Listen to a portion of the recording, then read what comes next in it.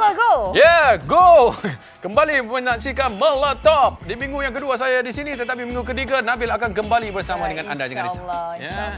Masih lagi di tanah suci ya. Yes, ah, di Alhamdulillah. balik sehari sebelum raya tak silap saya. Oh ya ke? Dan uh, sekarang ni Fazal kita bersama dengan orang yang dah lama tak munculkan Meletop. The last time when uh, he was here, di, When, when? ah, lama dah, tak tak apa sihat. Tapi Long sekarang. Alhamdulillah sihat dan busy. Aaron Aziz. Ya, Apa khabar? thank you. Alhamdulillah baik. Sihat. Good, good, good, good, good. Dan ramailah juga aeronators dekat luar sana yang menjerit-jerit sekarang ni. Yang jerit kenapa? Jerit lah. Lama rindu kan? Rindu Ah, betul. nak meletap, rindu nak meletap. But anyway tadi sebab berborak, Abang yang cakap, uh, cakap sekarang Ramadan agak busy dengan kafe. Ah, yelah, bit betul. about that maybe. Uh, bukan kafe saja. Kafe dah ni dah masuk minggu terakhir lah untuk kita buat uh, buffet ala-ala kampung Right. kan untuk orang buka puasa. Tapi yang lebih menyibukkan diri saya sendiri adalah sebab sekarang ni tengah pindah rumah. Eh, pindah rumah. Ah, so tadi uh, tepat pada 7 petang tadi 20 minit sebelum buka lori terakhir keluar dari rumah lama ke rumah baru. Oh, That is the dah most habis. tiring Paling thing ever. penat, paling langit. Dah settle lah ni pergi rumah tak baru ni. settle lagi. Tak So, settle sekarang lagi? rasa macam alamak nak balik Itu baru pack. kampung macam Bila nak settle? Selir-selir Saya rasa pagi raya baru settle. tak bawa lama. Tak, dia macam ni. Dia mula pack, lepas tu nak unpack pula. Betul. Ah, you know? Lepas biasalah. Okay, kita nak tahu pasal uh, apa uh, Aaron Aziz yang berlakon dalam Cinta Paling Agung. Yeah. Yeah. Filem yang uh, diarahkan oleh pengarah dari seberang Yes. dari Indonesia. Pengarah ayat-ayat cinta. Betul, ayat-ayat cinta dan Aaron melakon dalam filemnya. So ceritakan sikit latar belakang. Sinopsis cerita. Sinopsis. Sinopsis. Baiklah. Sinopsis dia adalah sangat-sangat dalam, sangat-sangat deep. Di mana sepasang suami isteri setelah menikah berumah tangga selama 9 tahun dan mempunyai seorang cahaya mata, ada satu daughter.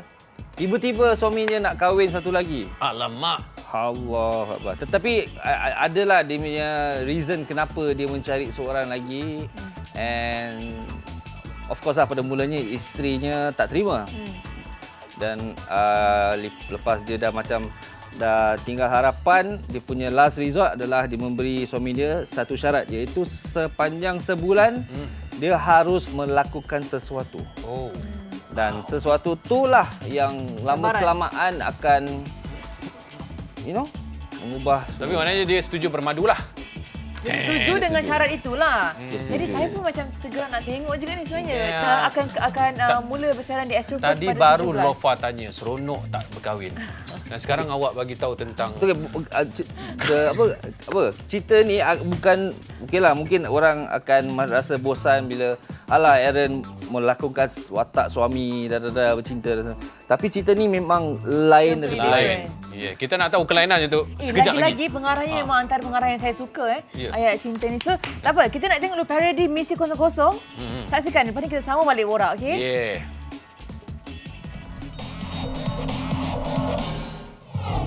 Pejam celik, pejam celik. Dah nak raya kita. Betul tu. Tapi isteri saya tak habis-habis lagi dengan merajuk dia. Subhanallah, kenapa begitu bang? Sebab saya tak pergi terawih aja. Abang berjanji dengan saya nak pergi terawih bagai. Apa yang abang buat ni abang? Ha? Malu saya dengan Cik Mina tau. Dah tak ambil dia pelamin. Lepas tu dapat laki macam ni pula. Tadi bergeria dah bersyukur bagai kita. Sehingga begitu sekali bang. Ini semua berpunca daripada Cik Mina. Tak, awak dah cakap dengan dia. Kita dah berjanji dengan Cik Ambil, Mina. Kita, ambil. Inilah yang semasa Kita saya nak kena pakai baju yang dia bagi. Kita kena pakai paket Cik Mina. Mina dah berjanji dengan kita. Mina yang buat pelamin. Mina yang make up. Mina yang buat baju. Dah Mina dah cari kompang, Mina dah sediakan periuk kawan, Mina dah panggil orang kenduri apa semua budak-budak. Mina, Isteri saya ni kerana taksubkan dengan Cik Mina ni, warna lansir rumah nak raya ni pun nak sama dengan Cik Mina. Ini, Aha. kalau awak nak tahu, ya, ya saya nak tahu. jambul. Jambul, jangan kata Cik Mina bang. Betul! Cik Mina, pandai pun awak. Ingat tengok muka macam tetapi ini passion daripada Cik Mina. Cik Mina yang suruh buat jambul macam ni. Bang, bang, sabar bang. Kalau saya lah Bang, jadi bang, lelaki Cik bang, Mina, bang, bang, bang. dah lama dah. Bang, bang. Adakah Cik Mina yang abang cakap ni, Cik Mina, Syamina Mina, ye ye?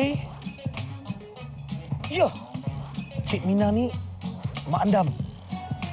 Juru jual, Ya. juru teknik, juru soleh. Wow. Kesemua di atas adalah isteri saya, bang. selamat hari raya ya. Maaf saya batin. Kita kosong-kosong lah ya. Kalau nak lari, larilah. Mana tahu ni. Tapi tak lari sana. Saya nak lari sana. Boleh ya?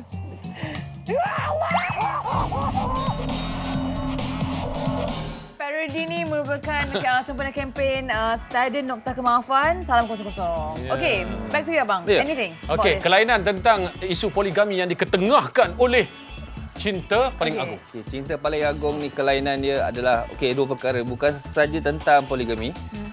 Uh, tetapi um, ketiga-tiga individu ni tiada siapa yang betul dan tiada siapa yang salah. Hmm. Dan orang akan menganggapkan uh, uh, the third party tu dialah yang merosakkan rumah tangga kan. Hmm. Tetapi dialah juga Penyelamat. yang uh, menyelamatkan keadaan antara suami isteri tu. Ya, jadi jangan rasa macam ada skeptikal. keagamaan, isu keagamaan juga tak? Itulah cinta paling agung sebenarnya. Yes, betul, betul. Ain ada Jangan Jangan- saya kalau siapa siapa uh, cinta siapa yang cinta tu sayang kepada dari segi uh, apa yang Allah bagi, dia akan sayang uh, rumah tangga dia. Masya Right, Allah. right, Itulah dia. Okey, jadi jangan rasa skeptikal sebelum anda menonton 17 filem Julai, ini ya. ya. Ah, okey kepada anda yang mungkin ada satu persepsi yang tidak baik tentang poligami itu, tengoklah filem ini. Uh, bermula, Astro First bermula 17 Julai uh, ini. Yes. Okey, kita uh, word daripada abang sendiri. Nah. Okey, jangan lupa saksikan uh, Cinta Paling Agung Astro First eksklusif saluran 480 mulai 17 Julai. Betul. Uh, raya Ini. pertama lah. Uh. Alright, thank you so much. Terima kasih, Aaron, Terima ya. kasih.